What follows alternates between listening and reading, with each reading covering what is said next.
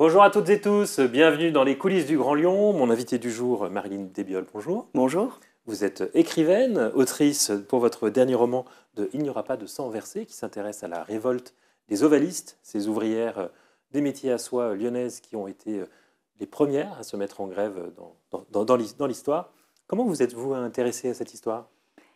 Je suis venue euh, à, cette histoire dans mon précédent livre. Je parlais de la marche de 83, de 1983, la marche pour l'égalité contre le racisme, qui part de Lyon, des Minguettes. Et donc, je suis venue à Lyon, j'ai fait des recherches et je suis tombée, euh, un peu par hasard, sur ce mot d'ovaliste. Et c'est le mot qui m'a déjà euh, interpellée, puisqu'il n'existe que pour désigner ces femmes qui étaient des, jeunes femmes sous-qualifiées, euh, sans qualification plus exactement, qui travaillaient 12 heures par jour devant un moteur, devant un moteur ovale, qui n'existait d'ailleurs qu'en France.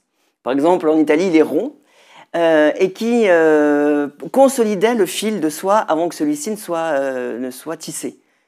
et donc, à cause de ce moteur ovale, on les appelle des ovalistes.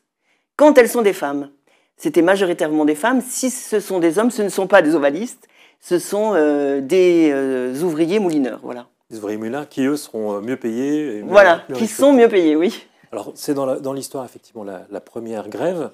Qu'est-ce qui, qui, vous a intéressé dans, dans, ce métier, dans ce personnage? Alors c'est la première grève des femmes, ce n'est pas rien. en effet, c'est oublié. On parle toujours dans l'histoire, on parle toujours des premières grèves de femmes euh, dans les usines d'allumettes en Angleterre ou en Suède. Eh bien non, la première grève des femmes, c'est à Lyon. En 1869, ça a duré euh, un, bon mois, juillet, euh, juin et juillet.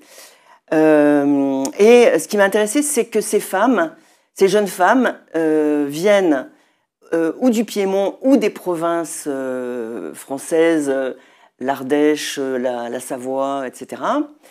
Euh, il y a aussi des lyonnaises, quelques lyonnaises, pas, elles ne sont pas majoritaires. Euh, et toutes ces femmes, en vérité, ne parlent pas français, qu'elles soient piémontaises ou ardéchoises, c'est pareil, en 19e. Euh, elles ne parlent pas français et elles, elles ne savent ni lire ni écrire.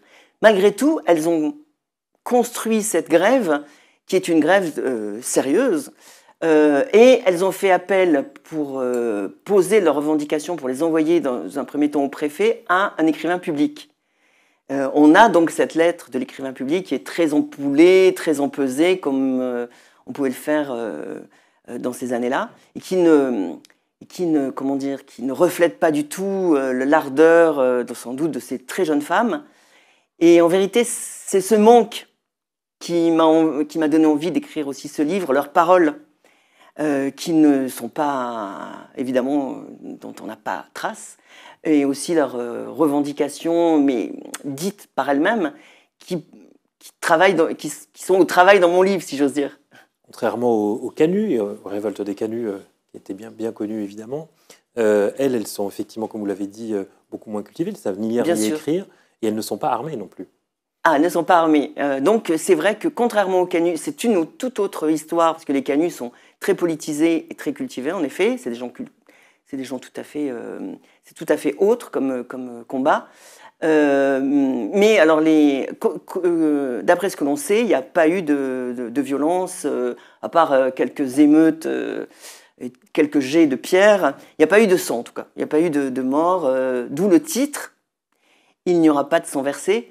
mais qui a un double sens. Qui a un double sens, parce que, et peut-être même euh, encore plus. Mais en tout cas, euh, ces femmes, euh, puisque c'est quand même un roman, hein, ce, ce, livre, il y a quatre femmes qui sont des personnages de fiction. Je me suis beaucoup documentée pour, les, pour nourrir ces, ces, personnages.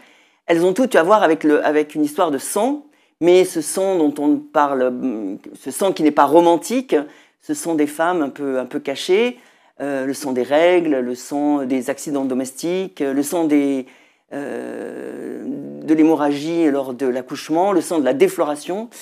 Euh, voilà, ce sang-là, il a déjà été versé par les femmes.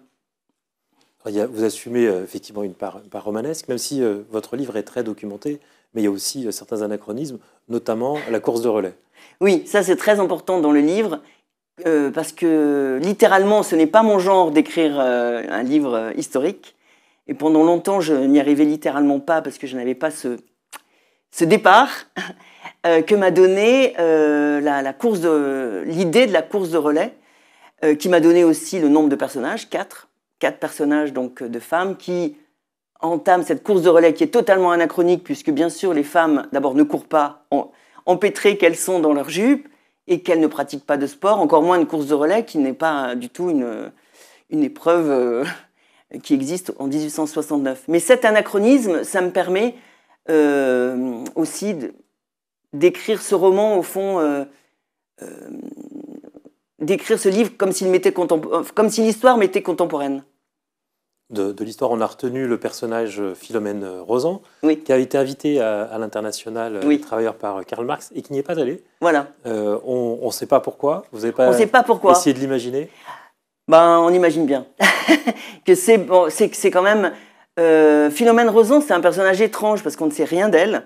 Pas grand chose. On dit qu'elle boite, on dit qu'elle a une badine avec un pommeau de cuivre, enfin des choses comme ça. Rien de très, de très concret.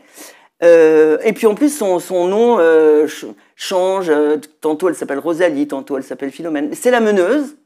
Et en effet, Marx va la, la désigner pour aller à Bâle, à l'AIT, l'Association internationale des travailleurs. Et puis, mystérieusement, c'est aussi pour.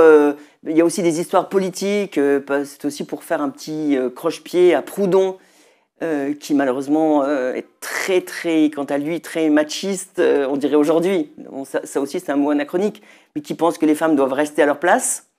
Il y a aussi de ça. Et puis finalement, on se dit quand même une femme, enfin, je sais pas.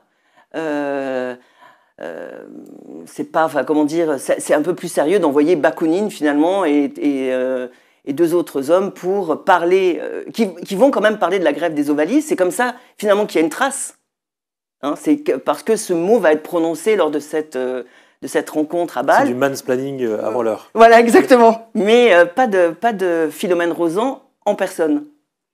Alors, vous l'avez dit, c'est pas la première fois que vous, travaillez sur Lyon, pourtant vous n'avez pas d'attache lyonnaise. Mais vous êtes finalement, vous avez rencontré des, des, personnalités lyonnaises qui vous ont donné envie de vous intéresser à l'histoire? Oui, vraiment. Je, je, suis venue à Lyon donc pour ce roman qui s'appelait euh, Charbons ardents, où il était question de la marche de 83. J'ai rencontré euh, euh, bah, d'anciens marcheurs et marcheuses, puisqu'on les appelait comme ça. J'ai rencontré cette grande figure de Christian Delorme, le curé des Minguettes, curé des Minguettes qui continue d'ailleurs à s'occuper des migrants, voilà, comme, et qui est toujours aussi un jeune homme. Et donc ça, donne, non seulement je trouve que cette ville est magnifique, mais en plus j'y ai des attaches euh, quasi affectives maintenant. Euh, et puis, euh, puis c'est cette, cette, histoire des ovalistes, j'ai l'impression maintenant qu'elle me permet de, de, de, connaître la ville de, l'intérieur. Quand je me promène, je ne sais pas, au Broto, rue de 16 et tout ça, j'ai l'impression d'être en pays de, en pays familier, parce que j'ai écrit ces mots dans mon livre.